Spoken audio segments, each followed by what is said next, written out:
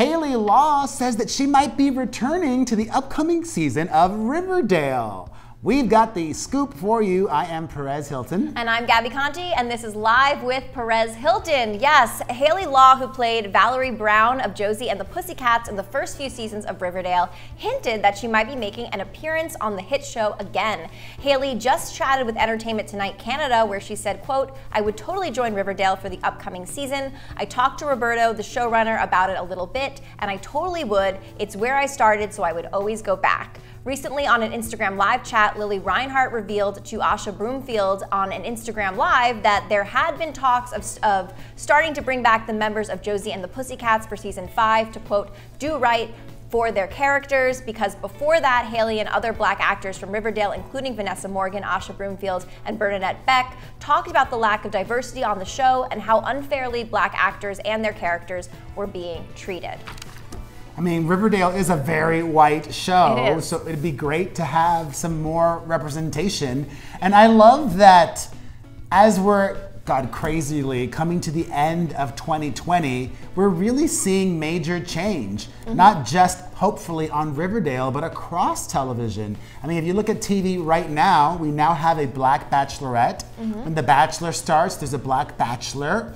If you love reality television, CBS announced that on their reality shows like Survivor and Big Brother, going forward, 50% of their casts are going to be diverse, um, which I would also think might, you know, a, a gay man or a lesbian might be considered a diverse Yeah. character on there. Um, so I, I, I'm excited for this potential return, and um, hopefully uh, there could be even a spot for Perez Hilton on Oh, Riverdale. yeah, I, I definitely could see that for sure. I I'm always totally shamelessly campaigning and plugging.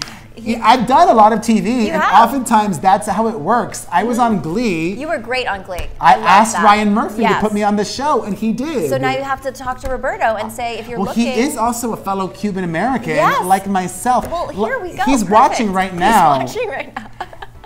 Mi hermano cubano. Come on. You want diversity. I'm gay and Latino. I Let's love make it. it happen. I love it. I love seeing I think the show needs to be even gayer. Yes. We need it like it's not gay enough. I'm serious. It's not like the the Flash and Arrows, those shows are super gay. I want Riverdale to be gayer. Mm-hmm. There's And- only one gay, gay character that I know of. I'm telling you, it's gotta be right? That gayer. was like, yeah, they should. I agree. Yeah. That's, well, you know what? Who's doing a really great job with that, with showing diversity, is the reboot of Gossip Girl. I saw, yes. Which I love to see that. I think I that's saw so cool. 'cause the leads are not white, Nope. and however, uh, Kristen Bell is returning to the show to narrate the Gossip Girl reboot. So yeah, that you should need be that fun. voice. You do. Yeah, I, I, I hope it'll be a hit. Um, they mentioned Perez Hilton in the original Gossip Girl. Hmm. Uh, I I was name checked in one episode.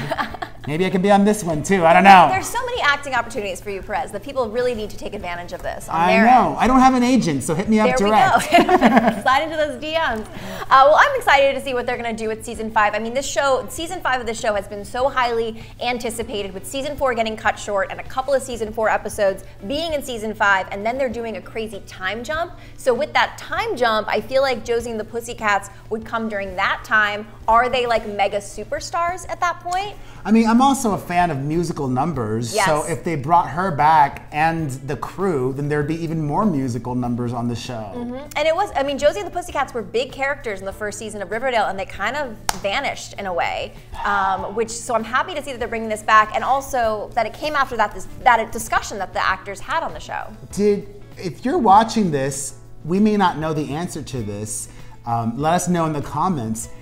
Netflix did that Chilling Adventures of Sabrina. Did Yes. they cancel They- that? that got canceled. They should bring her onto the upcoming season of Riverdale. yeah, they should bring Sabrina because those worlds are all collided and all combined. They the definitely should do Archieverse. I believe it's called, They or, should. or that was the plan, and it never kind of materialized. Right. Well, and then there was the other show too with Lucy Hale, Katy Keene. Yes. And that's so that some of the Josie and the Pussycats were on that show as ah. well. But yeah, now that they're focusing on Riverdale, they should try to bring all these characters back for like a superpower episode. I think that would be very dope to see that crossover. I'm an idea man. Yeah, you Making are. it happen. Here you are, writing credit. well, guys, well, what do you think about the Pussycats returning and Hayley Law returning to season five of Riverdale? Do you think it will happen? Let us know. I'm Gabi Conti. I'm Perez Hilton. And follow us at Hollywire for your 24 7 celebrity news.